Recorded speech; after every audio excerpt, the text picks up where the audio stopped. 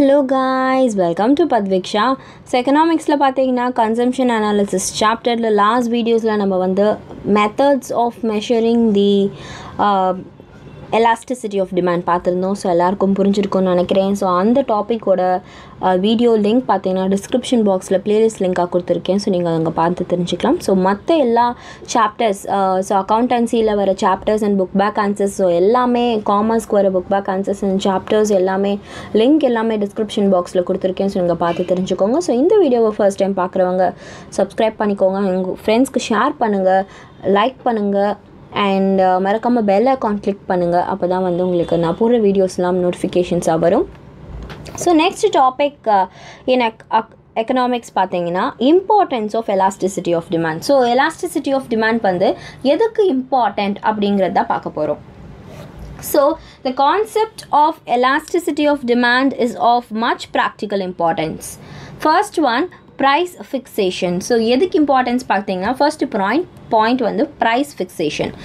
Each seller under monopoly and imperfect competition has to take into account elasticity of demand while fixing the price for his product. If the demand for the product is inelastic, he can fix a higher price.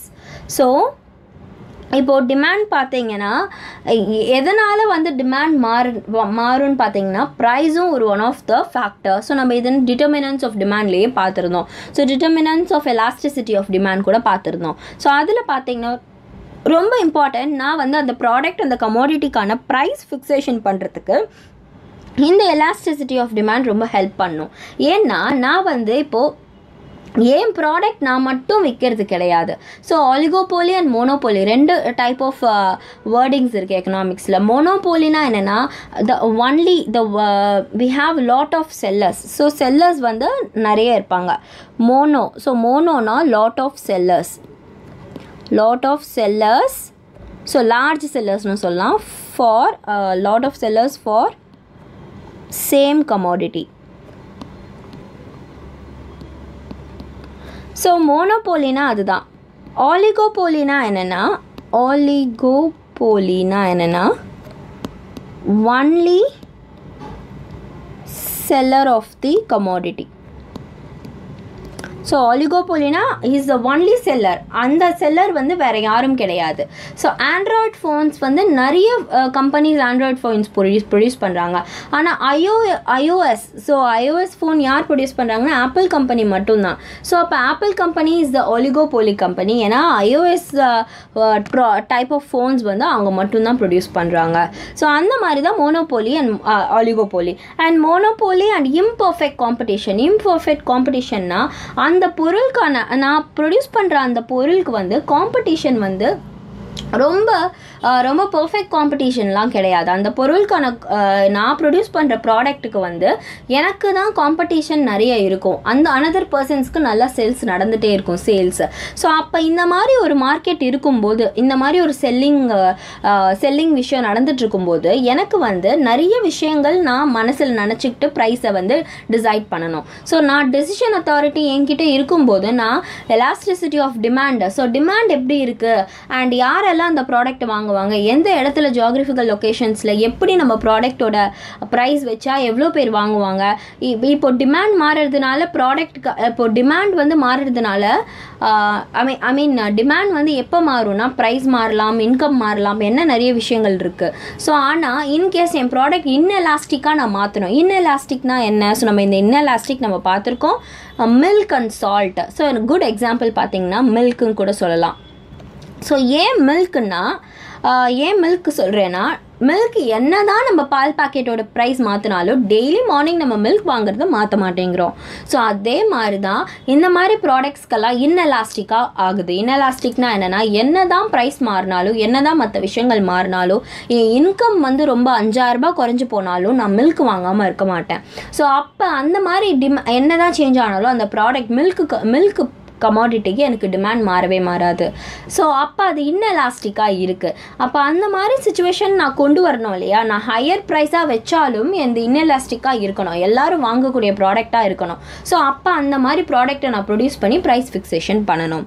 Next பார்த்தீங்கன்னா production producers generally decide their production level on the basics of demand for the product. So நான் வந்து produce பண்ணிகிட்டே இருக்க முடியாது. For example நான் வந்து இப்போது soap Cinthol soap produce பண்ணிகிட்டு இருக்கேன்னா நான் அந்த சிந்தால் சோப் வந்து ஒன் பேசிக் மாடல் பேசிக் ஃப்ளேவரில் நான் பண்ணிகிட்டே வரேன்னா அதே ஃப்ளேவரில் நான் ப்ரொடக்ஷனை ஸ்டாப் பண்ணாமல் பண்ணிகிட்டே இருந்தேன்னா எனக்கு அது சேல் ஆகுதா இல்லையாங்கிற ஒரு ஒரு ஒரு தாட் வரணும். அந்த சேலில் வந்து அவங்க எப்படி லைக் பண்ணுறாங்க ஸோ சிந்தால்லே வேறு வேறு. ஸோ கூல் சிந்தால்லாம் இருக்கு இல்லையா? ஸோ அந்த மாதிரி எப்படி கேட்குறாங்க அப்படிங்கிற ஒரு தாட் எனக்கு வரணும். ஸோ அவங்க டெசிஷன் வந்து ப்ரொடக்ஷனும் ரொம்ப இம்பார்ட்டன்ட் டிமாண்ட் வச்சு தான் டிசைட் பண்ணுவாங்க. ப்ரொடக்ஷன் எப்படி கொண்டு போகணுன்னு ஸோ நான் ப்ரொடியூஸ் பண்ணிகிட்டே இருந்தேன்னா அந்த ப்ராடக்ட்கான டிமாண்ட் இருக்கா இல்லையான்னு பார்க்கணும். ஸோ டிமாண்ட் இருந்தால் தான் நான் அந்த ப்ராடக்ட்டை ப்ரொடியூஸ் பண்ணுவேன். இல்லைனா அதை ஹோல்டில் வச்சுப்பேன். So whenever the demand creates demand எனக்கு இந்த ப்ராடக்ட் இப்போ பத்து பேர் வந்து சிந்தால் சோப் வாங்குறாங்கன்னா அப்போ அந்த இடத்துல கண்டிப்பாக மந்த்லி மந்த்லி வந்து சிந்தால் சோப் வாங்குவாங்க. ஸோ அந்த மாதிரி வாங்குறதுக்காக நான் என்ன பண்ணுவேன்? எக்ஸ்ட்ரா ஒரு சிந்தால் சோப் ஃப்ரீயாக கொடுக்கணும். ஸோ இந்த மாதிரி விஷயங்கள்னா ப்ரொடக்ஷன் அப்போவே டிசைட் பண்ணணும் டிமாண்டை வச்சு. ஸோ அது ரொம்ப இம்பார்ட்டன்ட் நெக்ஸ்ட் வந்து distribution elasticity of demand also helps in the determination of rewards for factors of production so ரொம்ப முக்கியம் இல்லையா? எந்த இடத்துல என் ப்ராடக்ட்ஸை நான் டிஸ்ட்ரிபியூட் பண்ணணுங்கிறது ரொம்ப ரொம்ப இம்பார்ட்டண்ட் ஸோ இப்போ நம்ம ப்ராடக்ட் நம்ம ப்ரொடியூஸ் பண்ணிகிட்டே இருக்கோம். நான் ஃபார் எக்ஸாம்பிள் மதுரையில் ப்ராடக்ட்ஸ் ப்ரொடியூஸ் பண்ணிகிட்டே இருக்காங்கன்னா அவங்க அந்த ப்ராடக்ட் ப்ரொடியூஸ் பண்ணுறாங்களா இல்லையாங்கிறது இந்த மாதிரி ஒரு இந்த மாதிரி ஒரு கமாடிட்டி இருக்கா இல்லையாங்கிறது எனக்கு எப்போ தெரியும்னா நான் என் என் பிளேஸில் அந்த என்னோட என் வீட்டு பக்கத்தில் இருக்கிற கடைக்கு போய் நான் வந்து அந்த ப்ராடக்ட்டை பார்க்கும்போது தான் தெரியும். அப்போ மதுரை மதுரையிலேருந்து சென்னைக்கு ஆர் மதுரையிலேருந்து வேறு ஒரு இடத்துக்கு அவர் மதுரையிலேருந்து திருநெல்வேலிக்கு அந்த மாதிரி இடத்துக்கெல்லாம் போனால் தான் எனக்கு தெரியும் ஓகே இந்த ப்ராடக்ட்ஸ் எல்லாம் விற்கிறாங்க நம்ம அதை வாங்கலாம். அப்படிங்கிற வெவ்வேறு இடத்துல அதை வந்து டிஸ்ட்ரிபியூட் பண்ணணும். ஸோ டிஸ்ட்ரிபியூஷன் ரொம்ப இம்பார்ட்டன்ட் மதுரையில் ப்ரொடியூஸ் பண்ணிவிட்டு மதுரையில் மட்டுமே அந்த ப்ராடக்ட்டை நம்ம சேல் பண்ணிட்டு இருந்தோம்னா நம்மளுக்கு கண்டிப்பாக அதுக்கான டிஸ்ட்ரிபியூஷன் டிமாண்ட் வந்து நம்மளால் ரொம்ப கணிக்க முடியாது. ஸோ என்னோட டிமாண்ட் எங்கே இருக்குது ஸோ அந்த ப்ராடக்ட்டை நான் வெவ்வேறு இடத்துக்கு கொண்டு போகும்போது தான் டிமாண்டுனால நான் டிஸ்ட்ரிபியூஷனை மாற்றுவேன் ஸோ எனக்கு வந்து இந்த ப்ராடக்ட் சிந்தால் சோப் வந்து இந்த இடத்துல ரொம்ப யூஸ் பண்ணுறாங்கன்னா நான் அந்த இடத்துல டிஸ்ட்ரிபியூஷனை கொண்டு போவேன். ஸோ எனக்கு டிஸ்ட்ரிபியூஷன்னாலையும் டிமாண்ட் க்ரியேட் ஆகும். Next international trade elasticity demand elasticity of demand helps in finding out terms of trade between two countries terms of trade depends upon the elasticity of demand for the goods of the two countries so country a and country b வச்சுக்கலாம் so country a country b so country a produce பண்ணுற products country b க்கு தேவைப்படலாம் country B produce பண்ணுற product country ஏக்கு தேவைப்படலாம். அப்போது அவங்க ரெண்டு பேர் ஒரு டேர்ம்ஸ்க்கு வந்து இன்டர்நேஷ்னல் ட்ரேட் நடத்தலாம் அப்படிங்கிற ஒரு தாட்டுக்கு வந்து அவங்க கண்ட்ரி ஏ ப்ரொடியூஸ் பண்ணுறதை கண்ட்ரி பிக்கு செல் பண்ணலாம் கண்ட்ரி பி ப்ரொடியூஸ் பண்ணுறதை ஸோ இப்படி டிமாண்டை வந்து க்ரியேட் பண்ணலாம். ஸோ டிமாண்ட் இருக்கிறதுனால இன்டர்நேஷ்னல் ட்ரேடும் uh, நான் நடத்துவேன். Next public finance elasticity of demand helps the government in formulating tax policies for example for imposing tax on a commodity so public finance ரொம்ப முக்கியம். அந்தந்த அந்தந்த uh, ப்ராடக்ட்டுக்கு கவர்மெண்ட்டுக்கு என்ன யூஸ் இருக்கும்னா அவங்க பப்ளிக் ஃபினான்ஸ் எப்படி எடுத்துப்பாங்கன்னா நம்ம நம்ம பே பண்ணுற டேக்ஸ் மூலியமாக இப்போது எந்த ஒரு ப்ராடக்ட் ரொம்ப நல்லா சேல் ஆகுதோ அந்த ப்ராடக்ட்டுக்கு நிறைய டேக்ஸ் இருக்கும். அப்போ அந்த ப்ராடக்ட் நிறைய டேக்ஸ் நம்ம கட்டுறோன்னா அது எல்லாமே கவர்மெண்ட்டுக்கு போய் சேருது. அப்போ கவர்மெண்ட்டுக்கு ஒரு ரெவென்யூ வேணும். ஸோ ட்ரெஷரி ரெவென்யூ நம்ம நம்ம பப்ளிக்லேருந்து வரக்கூடிய மணியை டேக்ஸ்ன்னு சொல்லுவோம். ஸோ நம்ம டேக்ஸாக பே பண்ணுறது கவர்மெண்ட்டுக்கு ஒரு ரெவென்யூ மாதிரி. அதை வச்சு தான் நம்மளுக்கு பண்ணக்கூடிய எல்லா ஹெல்ப்பும் கவர்மெண்ட்ஸ் பண்ணிட்டு இருக்காங்க அப்போ அந்த மாதிரி நான் பப்ளிக் ஃபினான்ஸாக நான் இப்போ கிரியேட் ஆகுவேன்னா டிமாண்ட் இருக்கிற ப்ராடக்ட்டுக்கு நிறைய டேக்ஸாக வைக்கணும்.